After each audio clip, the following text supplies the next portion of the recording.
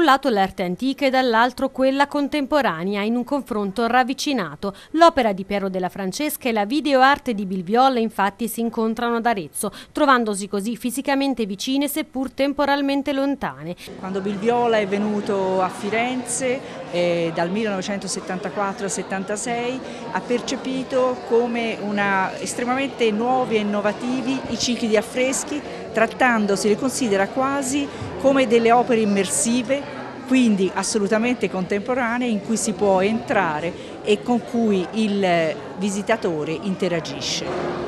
E questo rapporto è dunque in, eh, poi particolare con Piero della Francesca, dato la sua attenzione ad alcuni temi, come il tema della resurrezione, il tema dell'ascensione, che ripropone spesso nelle sue opere. Ed è attorno a questi due artisti che si è articolata la conferenza La leggenda della Vera Croce e il suggestivo rapporto con Bilviola alla Galleria Ivan Bruschi, che ospita la prima esposizione italiana della videoinstallazione Tristanza Ascension, ponendola così a pochi metri di distanza dalla leggenda della Vera Croce, il ciclo di affreschi Pier Francescani. Bilviola viene ad Arezzo, rimane incantato fin da giovane di fronte agli affreschi di Piero, è ritornato quest'anno prima dell'installazione che viene ospitata dalla Fondazione Bruschi e, quindi è una vicinanza di scelta precisa da parte dell'artista, ma poi c'è proprio un elemento formale importante che è il recupero del Rinascimento e infatti il sottotitolo della mostra è Rinascimento elettronico e quindi